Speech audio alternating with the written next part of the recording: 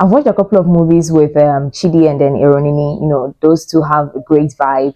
They are happy, they flow well. But the addition of Shank to this too just took the whole thing to a different level.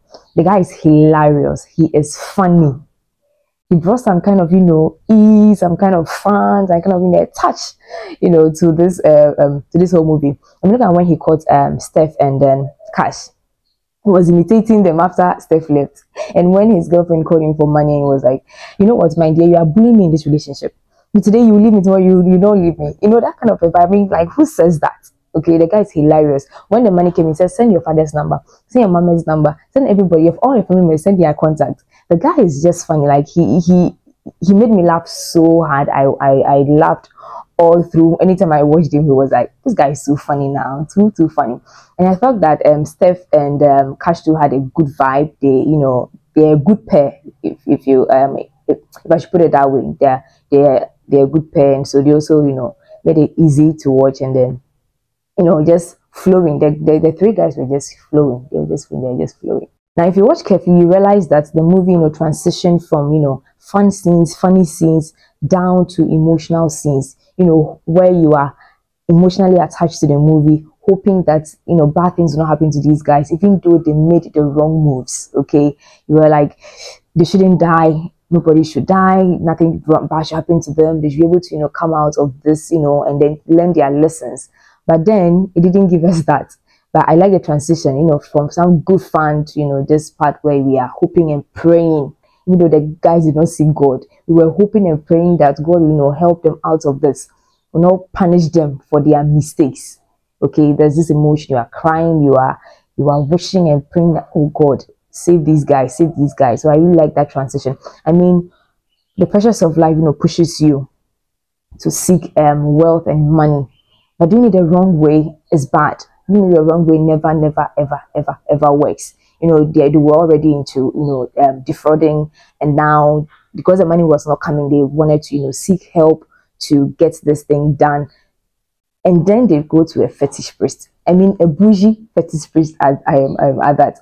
All fetish priests, you know, work in shrines. But this one had a home where the people came to him. He's not a, your usual fetish priest, though. He was in his house, and these boys, you know, would come to him, you know, to seek help from him to get the money um, um, um, um, faster.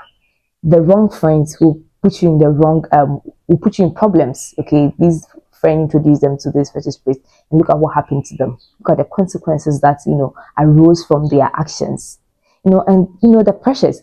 You know, Cash's mother, for instance, would call him and say the rent to you. Meanwhile, your son is in school; he doesn't work.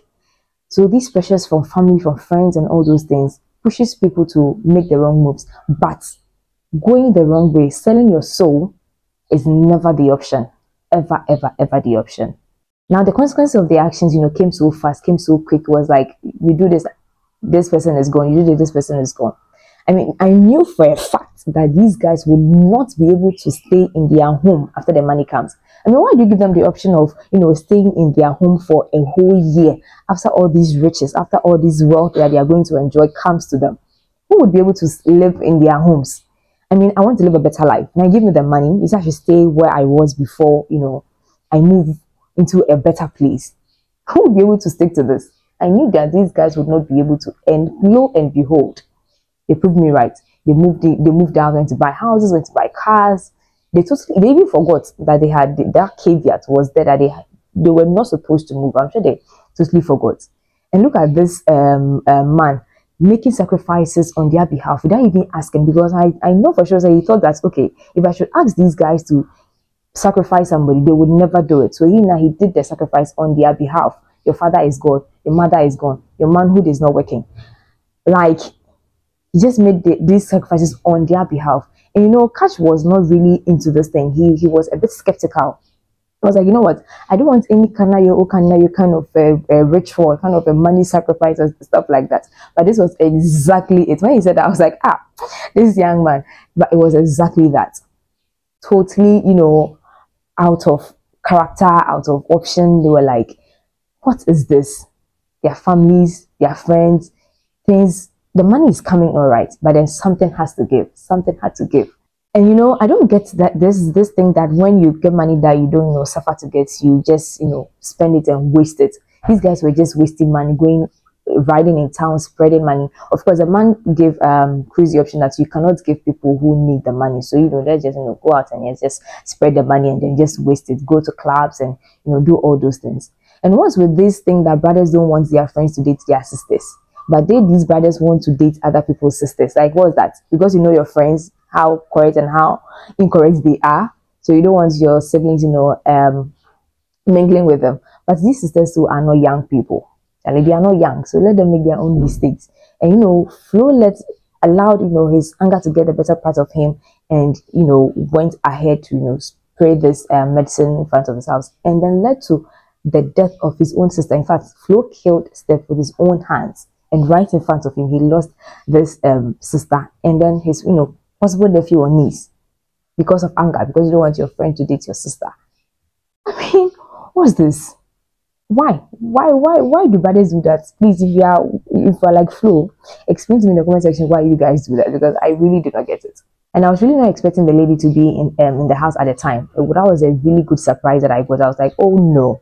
I wasn't expecting her to be in the house at all. And when this um, young lady died you know is like i cannot continue living it's it's not possible for me already he was not even in for this thing he, didn't, he wasn't feeling it he was like this is not the way to go. But you know, he had to just make do and support his family, his school, just get a better life that he's always wanted. So he decides, you know what, just let everything go. Took off the ring, you know, what can come can come. I can die. It's it's okay. I mean, the person I love is dead. So what's the point? What is the point in all of this? Okay, so let me know the lessons that you picked up from this movie. Leave that in the comment section. Um, let's continue the let's continue the, um, the conversation there. And um, i'll see you again. Do it to like this video. Do it to subscribe. Do part of my family. And i will see you again next time. And hey why is it that you know when they go to the fetish priest and then things go wrong they come to the house and they're like oh god save us. Oh god save us. In fact in the dream when the when the man held them and then came to you know show them something small in their dreams so they were calling jesus i'm like you know this name but then you are going you know you went to a fetish priest for for help, for money, no matter how hard life is, going to the dark world is not the option. Seeking help from a fetish priest is not the option. I mean, a bougie fetish priest. But the start of the movie, you know, there was this different fetish priest. He did not really appear in the movie again. Where did he go? Was it the one um the three guys his friend was talking about? I don't know. So let me know the lessons you picked up from this movie in the comment section, and I will see you again next time. Do also again like this video, subscribe, part of my family, and I'll see you. Take care. Bye. Peace.